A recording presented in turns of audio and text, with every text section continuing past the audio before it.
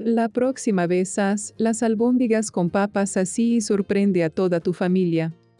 En un recipiente, añade 500 gramos de carne molida, dos dientes de ajo picados, una cebolla picada, perejil y cebollino, 4 cucharadas de pan rallado, pimienta negra,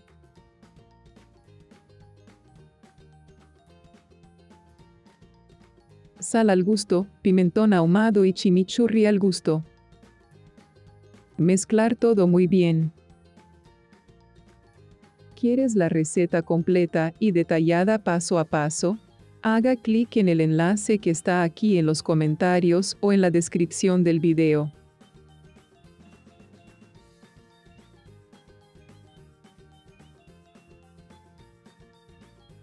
Toma un poco de la carne y dale forma de bola. Repite este proceso hasta que te quede sin carne. ¿Desde qué ciudad me estás viendo? Quiero mandarte un fuerte abrazo y gracias por acompañarnos en otra receta más.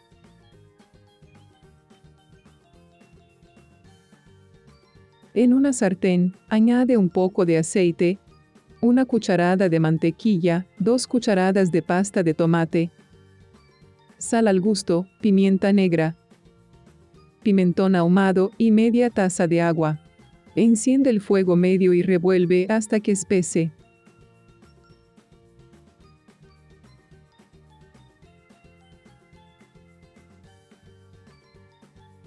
Agrega una rama de tomillo y vuelve a mezclar.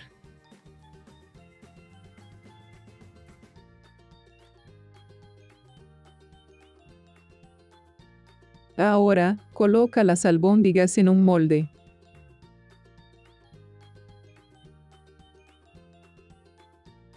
Después, agrega las papas cortadas por la mitad. Por último, vertemos la salsa que hicimos anteriormente. Si quieres más recetas como esta, visita nuestro sitio web testerecetas.es. Hay miles de recetas fáciles y rápidas para ti y toda tu familia. Colocar en el horno precalentado a 180 grados durante 50 minutos aproximadamente.